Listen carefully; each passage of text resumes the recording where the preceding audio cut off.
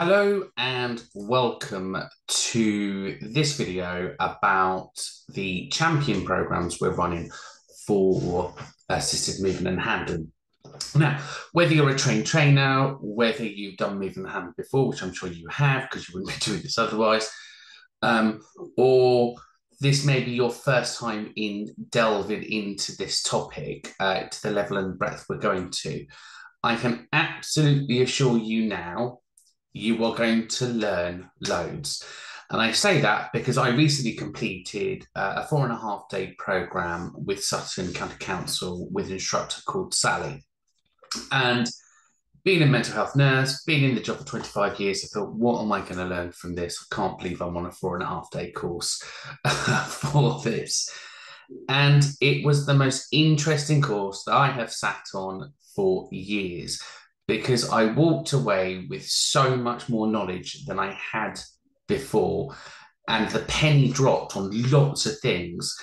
And I learned more in those four and a half days for moving and handling than I had through my whole entire nursing um, degree. So I really want you to kind of park any preconceptions about what you think you know around moving and handling and I want you to kind of just really listen, look at what I'm going to be showing you so you can really understand how it all comes together because it does go together like a jigsaw. Now, on the screen, you're going to see two things. You're going to see the Canvas uh, app, uh, and that's where everything's built. Uh, and on the other side, I'm going to show you paperwork and things. Uh, and that's because I'm going to have two screens going uh, side by side. So you can kind of see when I'm pointing to things what it is we're talking about and why. But before we do that, let's just look at the Canvas side. So when you log in, you've got your welcome and introductions. So in there, there's three videos, which you will have seen probably a thousand times, uh, and the PowerPoint. Now, the PowerPoint has about 150 something slides in that. That is your bog standard moving and handling train the trainer presentation. So it runs it runs through the theories, the background, the laws, the legislations. And then what I've got uh, underneath are videos that I purchased from um, Mulberry House, and that's the theory, the practical, and assessments for moving and handling.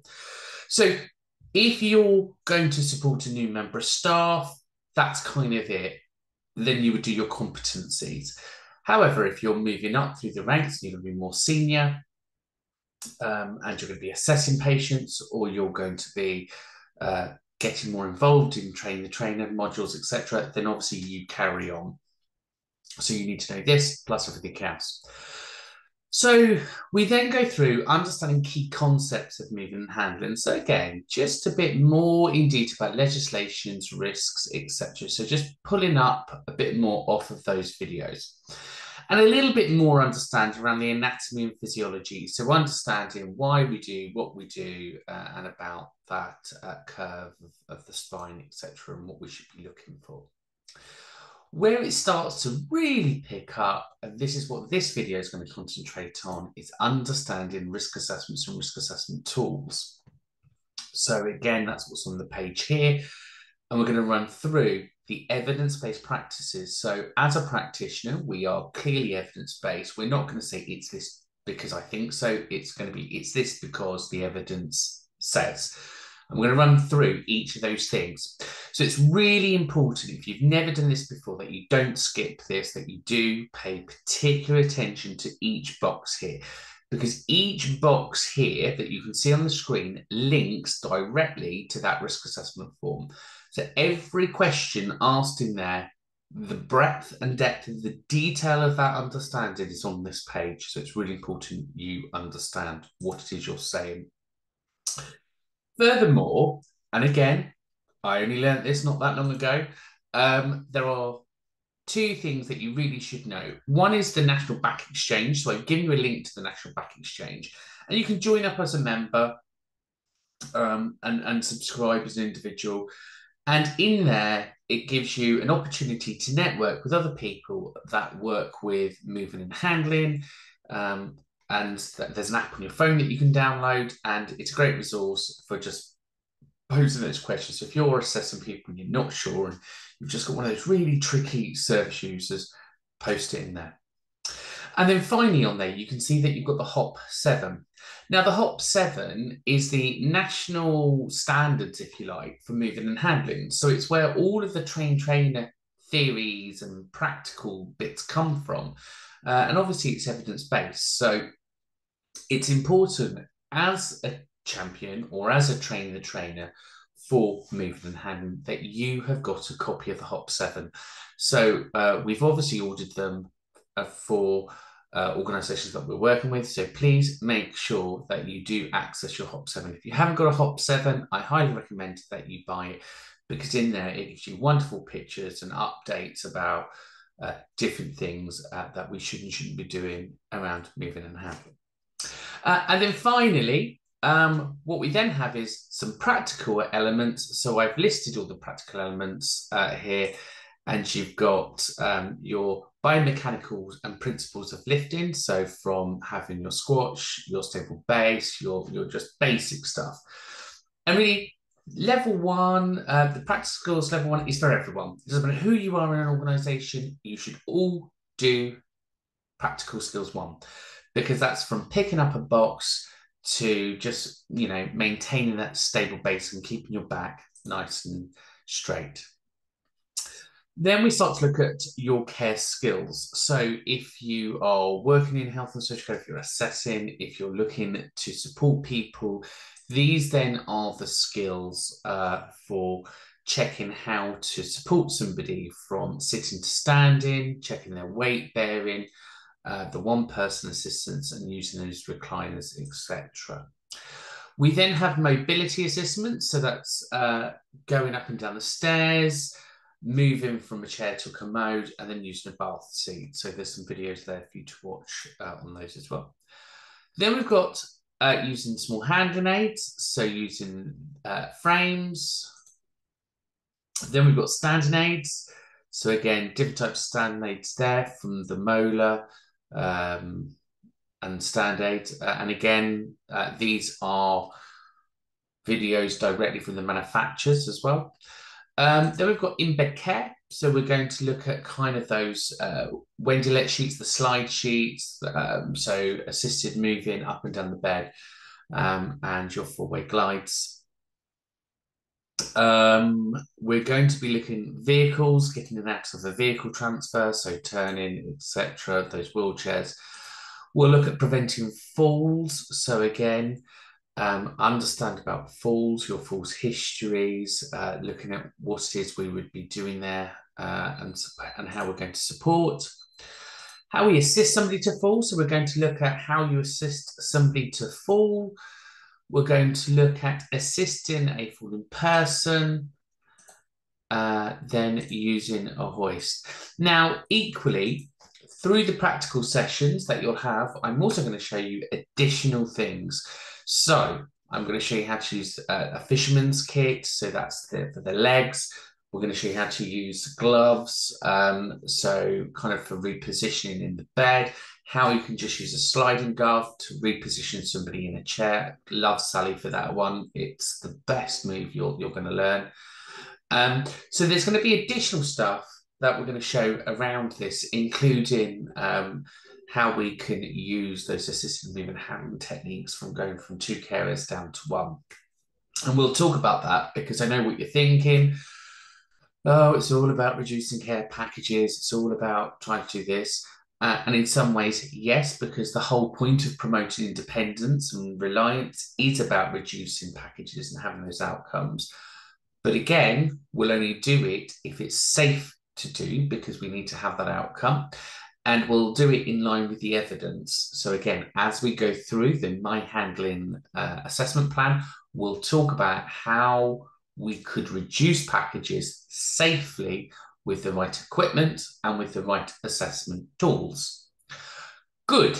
So I'm going to scroll back up. That's just the overview of, of everything there. And I'm going to go back to understanding risks. Now, in here, the first thing you're going to look at is when you click on here is a copy of the My Handling Assessment Plan. And what I've done is I've gone through this in red for you to think about how you're going to answer stuff. Okay, so where you're going to get the evidence from. Because the one thing that I got told off for, and I don't mind sharing because it's all about lessons learned, is apparently I write too much. Now I know what you're thinking, those that know me, you're in shock, horror, and in complete disbelief. However, it is true. Um, so my one takeaway, not my one takeaway, but my many of my one takeaways from this training was about reducing the amount we write without compromising the quality. Uh, and we can reduce the amount we write if we are using evidence-based practices, because then we can just summarize some of the bits and pieces. So, for example, as you can see on here, um, and I'm going to run through it on this side now. We've got our name, our date of birth, and our normal information there, uh, and then our diagnosis uh, here. So, what we know about. Now, straight away, alarm bells should be ringing around cognitive impairments, service users that have had strokes, service users that have had any M- uh, MSK stuff, musculoskeletal problems, um, service users that, that have um, maybe got dementia, where things can be a little bit harder for us to understand, or even service users that have got um, a history of eating disorders and things like that. Because again, if someone's had an eating disorder, their uh, skin integrity, etc., is going to be a lot worse. Uh, and again, anyone with osteoarthritis or any of those arthritises, we need to know about. So, just a bit of information there. Straight away, we need to know BMI, weight, and height. And that's because if you're going to go up to the trusted assessor model where you start prescribing equipment, or indeed if you've got equipment in front of you, you need to know that you have the right equipment for the right individual. So, again, things like the hoist have weight checks on. The slings will have certain sizes. The equipment is designed for certain people and certain builds.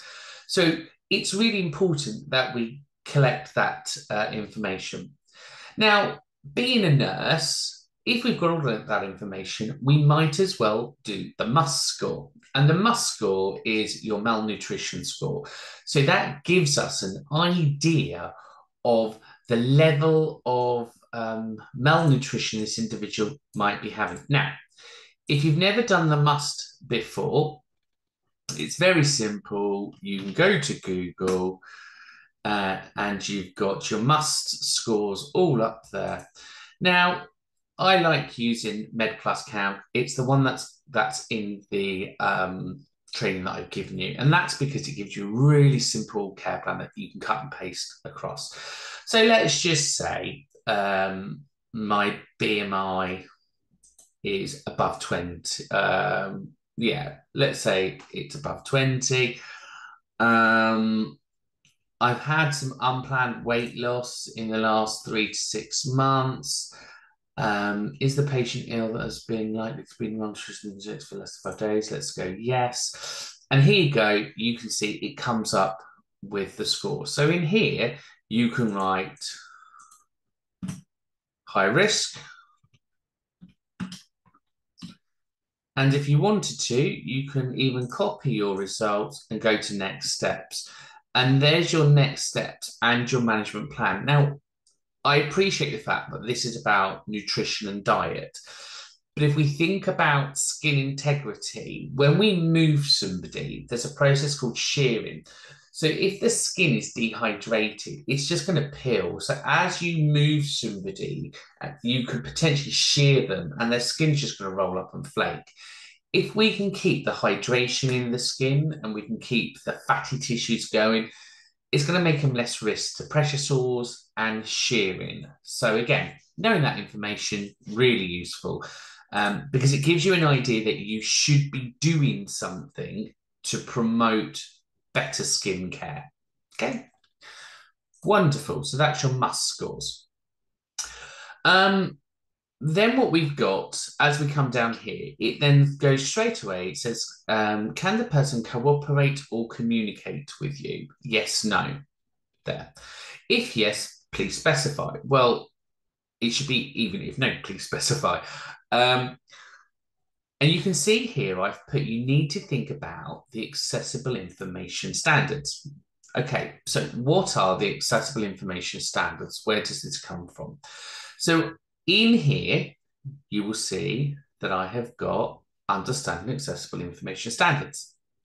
And in there, we talk about what the CQC requirements are about us producing a plan that the individual can understand.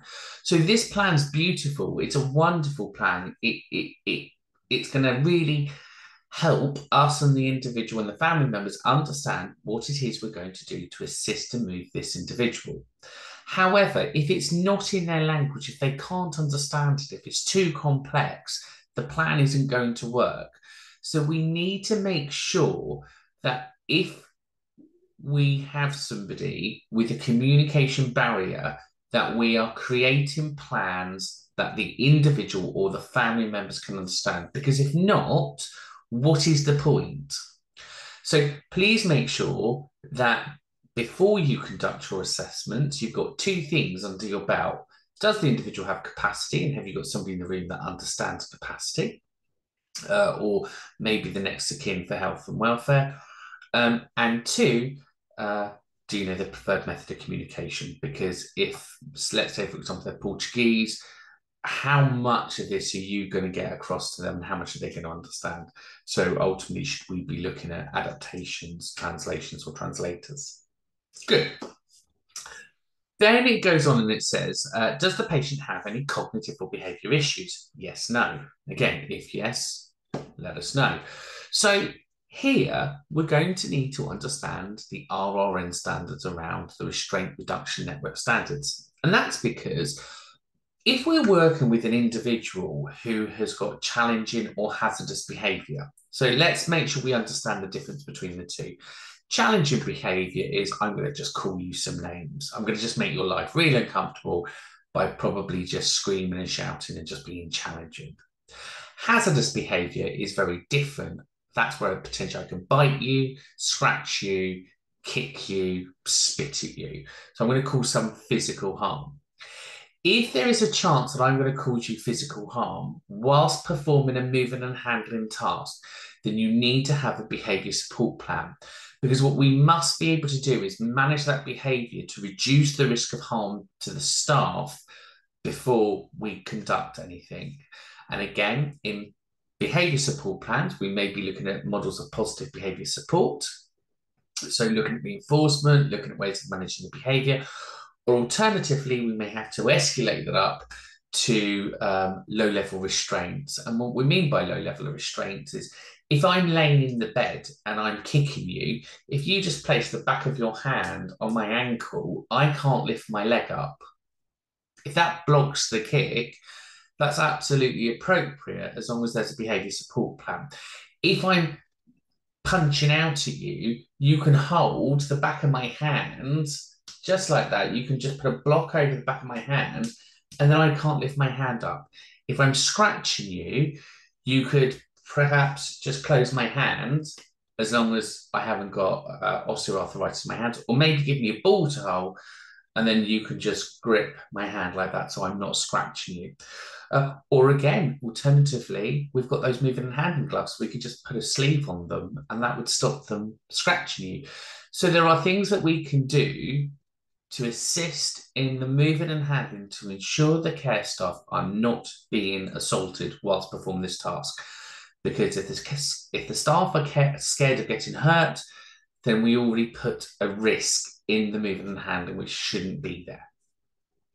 So we need to make sure that that assessment's been done. Uh, good. Then we're going to look at uh, pain. So does the individual have pain? Now, again, thinking about accessible information, thinking about the way they communicate, they may not be able to tell you, but you could just do a pain scale. So, Bob, I'm just about to put this on. Can you tell me, are you in pain? You know, if you point on one of those faces, whereabouts are you? Okay, you, you hit five, so you're at moderate pain. If I adjust it and do this, where are you now on that pain scale? A one. Great. Okay, so I can see that that technique is far better for you on pain. Alternatively, you might use the pain scaling, but when you wake up in the morning, where are you on that pain scale? You're up at a 10. Fine. So the, the, the last thing you're going to want is me pushing and pulling you. Do we have a care plan in place to reduce that pain down to at least moderate pain before we start shifting you around? Um, you know, and if that's yes, maybe that's a medication. Now, ultimately, I know what you're going to be saying to me, but if we've only got a half hour uh, time slot, how are we going to be doing medications to reduce uh, pain, etc.? Well, ultimately, then that's down to us to think about different techniques to manage that risk. And that may be that we call Bob 15, 20 minutes before the call and say, Bob, I'm on my way. Can you just take your pain relief before I get there? Or family member, I'm going to come around shortly. Can you put some of um, the ibuprofen creams or diclofenac creams, whatever it is, on the joints to loosen the joints up before we start.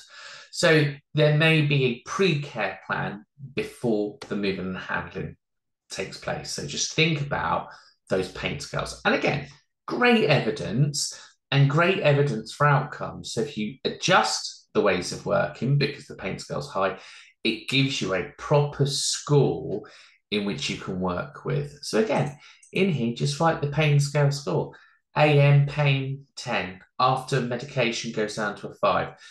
At this level, it's okay to move. Um, suggested this movement, pain scale was at 6. We adjusted it, pain scale now 1. Perfect. Great reasoning for why we're adjust, adjusting something. Good.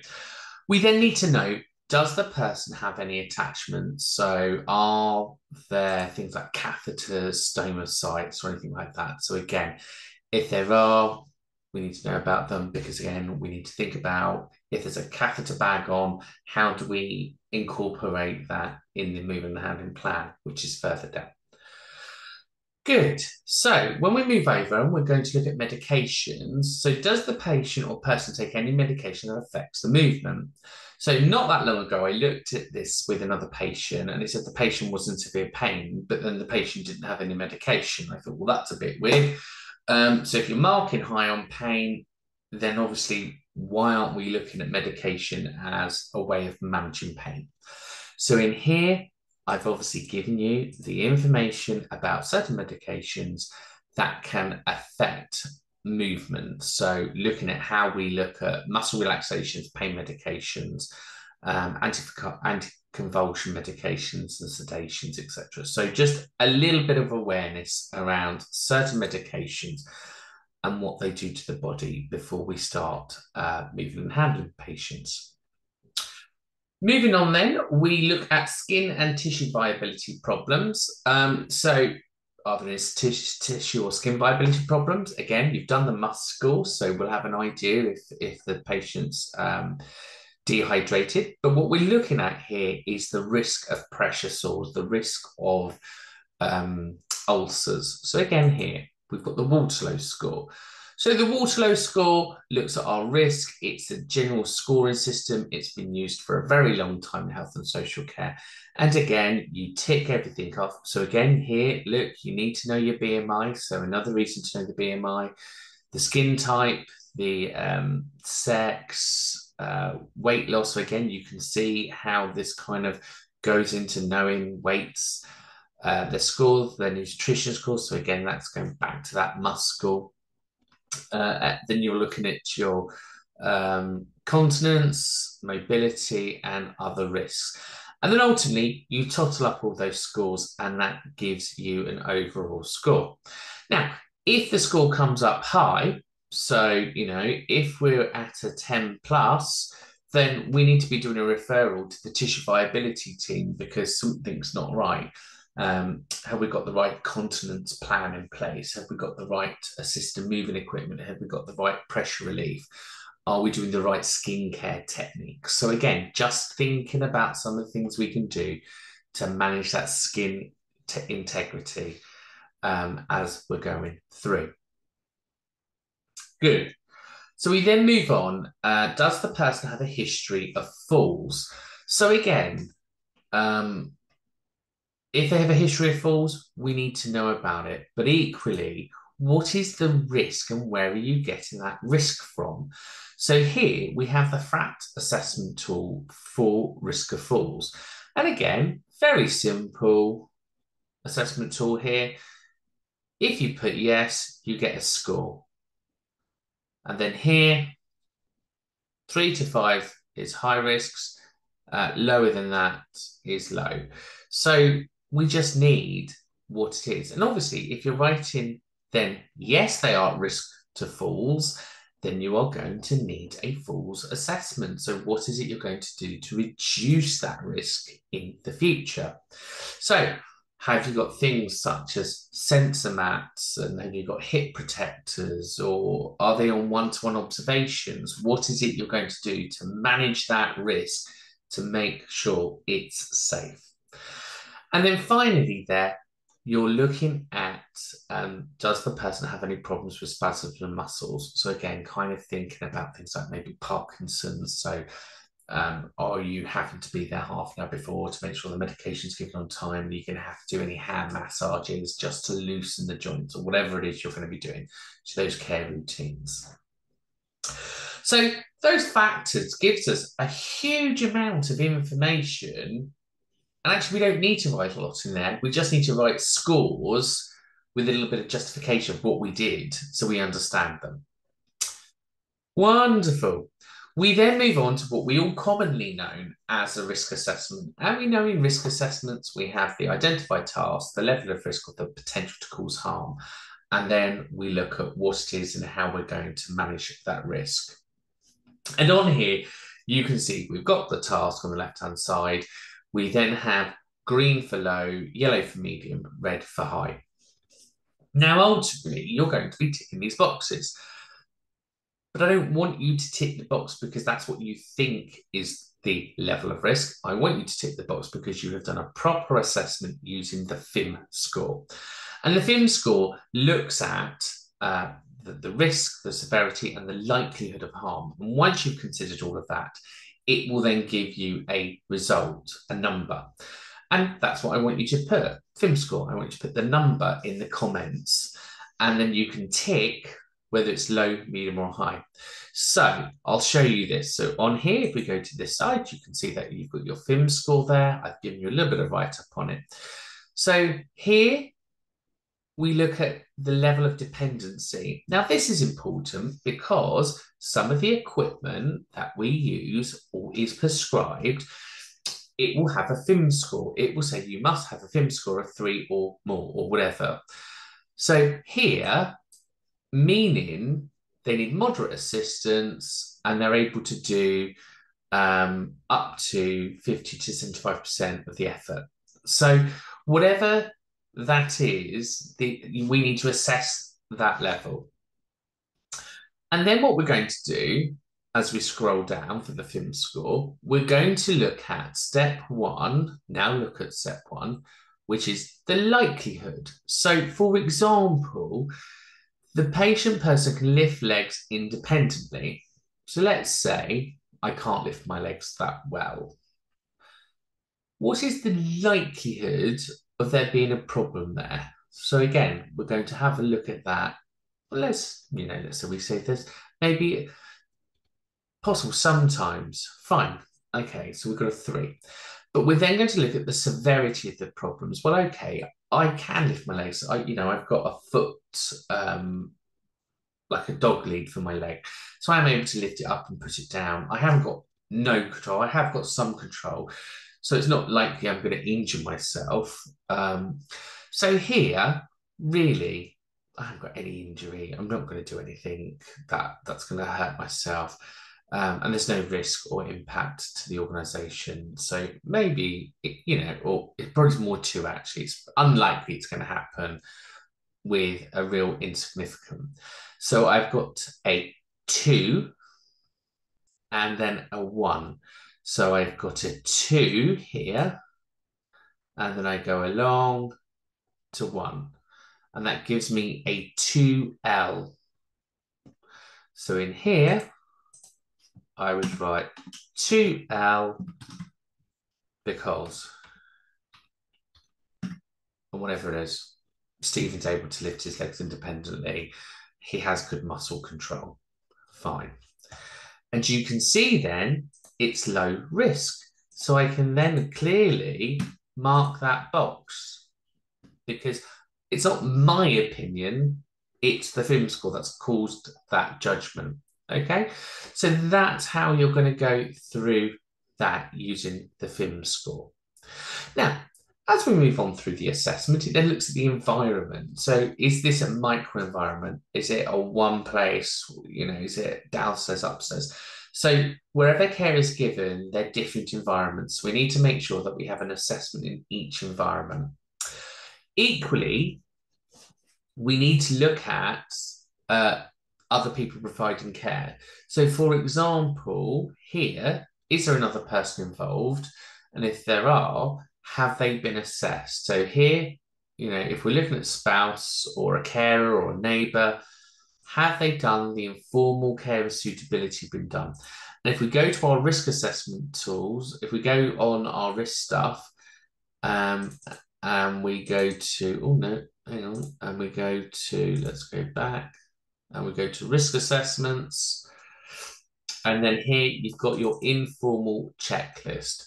So again, has the informal checklist been done? Making sure that this person is suitable to help us. And if it and if they are suitable to help us, have we then done the training form? So have they then done the training? So have we then done the competencies with them? Okay, so again, they should receive exactly the same training. They could log in, they could do this online training as well. I've got no problems with that, you know, just the first module. Um, and again, we should be working with them to understand uh, the, their training needs. Um, but equally, uh, we need to make sure that they've been given the right resources, and we'll talk about that in a minute. So here then, tasks requiring a handling plan. So now, from the above, which ones do we now need to do the plan for? And that's because we've probably marked it medium or high. So if we've marked it medium or high, what are we going to do about it? Now, when we mark things medium or high in the rationale, we can ask the residents, we can ask the staff, we could ask um, let's say, for example, we've got two carers and they go, look, Steve, it's just, you know, I don't know, let's say uh, position in bed. Well, it's unlike the first one's going to be. But anyway, we've got position in bed. We're saying it's a high risk, it's come up us a high risk. And the carers say to me, well, look, we've been doing this and it's just really, really hard work. So at this point, I need to know when you tell me it's hard work, what do you mean by that? And for this, we have the Borg scale. So this is the level of exertion that the staff are experiencing. So here, we can say to the member staff, well, look, okay, so we're going to do a movement and handling plan because you're saying this is really, really hard. So we could do Borg score. So Borg score, I don't know, nine. Fine, great reason to, to do that. Great justification to do it. And then what we would hope is we would put the plan in place and then we'd go back and we'd say, right, now, okay, you do this task. How do you find that task now? And they would go, oh, it's a three. Good. You know, what we're looking for is anything below four. Nothing should be hard. Ideally, all of the equipment we use should make the job really easy or easy.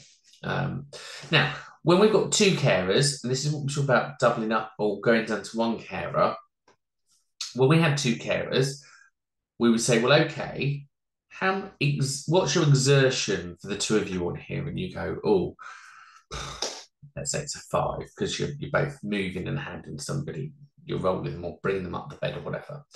We then come in and we give you a new moving and handling plan. So let's say we use the hoist to do the turn. We've got a block in place and we go on there for one of you to do that task. How did you find that now?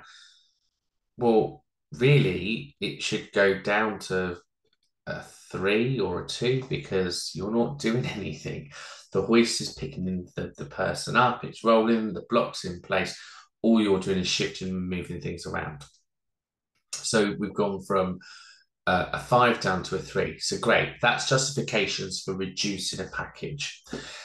What we can't do is move up the exertion scale. So, for example, there's two of you, and you go, "Oh, well, at the moment it's hard," and we drop you down to one, and we go, "Now, how do you find it?" And you go, "Oh, it's a seven. It's really hard." Well, we can't do that. That that's obviously ridiculous. So, we can use those Borg scales to manipulate uh, the level of support that we're giving. Now, what's also useful to know is we have the likely scale or the Likert scale. Uh, and the Likert scale is very much a similar thing, but for the service users, the individuals. And here we can just look at, well, okay, um, if we look at satisfaction between one and seven, um, at the moment, lifting your leg, um, you're using that dog lead. How satisfied are you? And you go, oh, wow, I can do it, but I really don't like doing it. I, you know, maybe it's a two. I'm, I'm completely dissatisfied. So you're right, Likert scale, two. Reason for this, reason for a moving and handling plan is to try and move that scale up to something they're satisfied with. So now let's say we use the leg strap on the hoist and the hoist lifts the leg up. Now, how satisfied are you? Oh, actually, that felt a lot better. Um, that's a six. Great. So we can use the Likert scale as well as a reasoning for moving or adjusting or changing a care plan, uh, or even keeping the care plan the same. So let's say, for example, we already doing the leg strap and uh, we go, right, how satisfied are you? And you go, well, I'm very satisfied. Why would we change that? Because if we changed it, it'd only go down. Um, so it's unlikely it's going to go up uh, if you're at the top score. So we can use those scales. Now, obviously, on your reasoning, you would need to write which scale you're using and the rationale for it. So use Likert scale because they're currently things aren't quite right or currently um, everything's okay. Great. Hopefully that makes sense. Obviously, when you try it, we'll, we'll let you know. So that's where we are with those scales. So it gives you an idea of the theory, the evidence based practices that we can be using. Okay. Um, so again, looking at their wishes, again, their wishes, you could use the Likert scale in there. Um, and obviously making sure we have consent so we know who's got consent. Now, if this individual doesn't have consent, who's got the power of attorney? So is this a family member that has the power of attorney? That's going to be really important to know. So let's move down a little bit more. Uh, and it says information about equipment required. So moving and handling techniques demonstrated to spouse and carers. So have you completed hoist competency assessments on carers and spouse? Um, equally and all the annual training. So all equipment. And don't forget you have all you have access to those. So you've got your moving and handling assessment forms uh, there. So you've got checklist there that you can use. You've got your hoist competencies there. So you've got different things that you can cover there with. Then it looks at additional information. Have you provided the individual with the sling checks and um, the maintenance? So the sling checks is making sure, so if somebody has a sling in their house, that we put up this sign. So print it out, laminate it, and it just tells them and reminds the carers every time to check the sling before they use it. So whilst we do a dynamic risk assessment every single time, so what I mean by dynamic risk assessment, we're checking the environment, the task, the load, the equipment, the environment, and all of the other bits and pieces that we would normally do. We should also be doing a sling check. So it's there as a reminder. Uh, and again, if, if you're from Sutton, you've got uh, those numbers there. Um, so making sure that you've obviously you're giving the right information to the right people. And then finally, the maintenance. So a reminder about the equipment. So whether that's um, the hoist, the, the gantries, the molars, whatever it is, uh, equipment, um, you've got your steps for maintaining that equipment. So again, again, you can add additional notes there, but there I've just put them on there as reminders to give that information to individuals, tick it off that you've given it, and get it signed. Now, once you've completed all this, it's then looking at you to make an overall assessment of the low, medium, or high risk. So from the evidence provided, the patient's personal risk of movement handling is, and you're going to add that all up. So whatever the weighing of that is would be high, medium, or low, and then we're going to sign that off. Now, when we look at the movement and handling plan, um, we're going to look at the tasks. So give it a task number, and that task should relate to your um, your actual working practices. So if you're using an app, for example, um, the carers apps, they have tasks in there. So that might be task one. This example, task two, task three, task four, however you, you task yourselves. The number of staff required. So the number of staff required, you will have done your assessments for those, wouldn't you? Because we've already talked about the Borg scores or the Borg scales. Um, and under the assessments, you've got your um, single or double carers. So those should have been completed so we know how many staff we need for those instructions. We then got moving and hand instructions, including sing, slings, loops, uh, and configurations.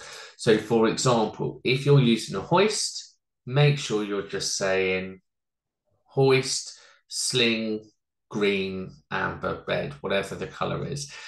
And then there, we just want some basic instructions for the carer on what to do. So again, they can be cut and paste and put into your online apps. Um, and it's you know it's it's quite simple to make some very personal centered um, instructions there, uh, and and you can get those from the SOP. So some basic steps uh, on what to do. Here we need to make sure that we are listing the name of the equipment that's going to be used. So let's say you're using the Oxford hoist. We should have the serial number and the last date that, was packed in, uh, tested. So we know if it's electrical equipment, it should be annually PAT tested. Uh, and if you're looking at the slings, um, obviously every time they use, with a minimum of six months on the visual ones. So here, um, there's your six monthly sling examination forms. So again, they should be done. So here, if you've got a hoist, you need to PAT, and then obviously somebody needs to make sure that they're doing the sling examination form uh, every six months. You know the risk because that's your FIM score. So you're just going to take that from above and put the FIM score there and then your SOP. So your SOP is your standard operating procedures, and they're here. So again, all you're going to do is give it the SOP number. So, you know, if you're going to be doing, I don't know, small aid from bed to chair, you're going to use SOP number five. And then you can just go in here and you can just personalize that for that individual um, just so they've got the right working procedures for them. Uh, and it's important to make sure that you update these as well. Um, so they need to be updated regularly. So again, here you can see this is um, bed pull and single hand aids in and around the bed.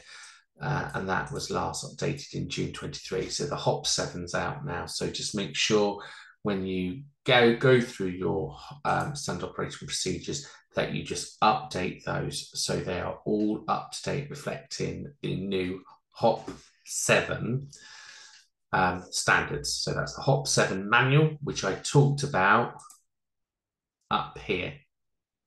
No, down here, sorry. So that's your HOP 7. So you need your HOP 7 to make sure that your SOPs are up to date and are correct. So you're going to put your SOP number in there. And then finally, you're just going to sign that off and pop a date in. And then you're going to do that for each task up here that you have assessed. And again, if you need, you know, if you've got other tasks there that you need to do, don't be afraid just to insert new rows uh, above or below because, you know, ultimately these are meant to be personal centered. So I would expect to see that they do look slightly different per individual. So again, if you need to add some more boxes on there, don't be afraid. Um, and again, you can just then link those further there and there. So that is how to complete a moving and handling assessment plan without you using your opinions, but using evidence based clinical decision making tools to remove that risk from you saying, I think it's this. And as evidence based practitioners, that is exactly where we need to be. So I want to thank you for watching this. I appreciate that that was quite a lot of information. Um, what I want you to now do is I now want you to download the risk assessment form, this one, and I'd like you to complete that on an individual or a service user, and then obviously email that back to me so I can uh, assess that for you to make sure that you're completing it properly. With regards to um, our health and safety risk service user slings and all of this stuff and all this extra pieces here, um, in here, I've given you a link there to download all the forms from there. So if you click on that link, it will take you to uh, that site so you can then just download all of those forms. So you have access to all of that paperwork. So there's absolutely no excuse um, for you not to be using the right paperwork because the right paperwork will be in there. So we will keep updating that to make sure that that's um, contemporary and current. So the idea of the moving and handling champion is somebody that can manage this paperwork, manage and understand about the risks, the, the ways of working, and the sharing of best practice. Uh, and that's exactly what I've done. Um, that's why we've done this. Uh, equally, I have developed um, a couple of booklets here. So if you want to know how to do uh, the home's risk assessments, you have that there. Um, so again, it just runs through kind of what this video is that I've just done for you. And if you wanted further information about the uh, Finborg or Likert uh, scales, uh, again, I've just given you a lot more detail there. So I'm hoping with the resources that I've given you, the video and the explanations, that should make it a lot clearer for you when completing these plans. Brilliant. Well, thanks for watching. I wish you all the best of luck and good luck with your assessments. Bye for now, everyone.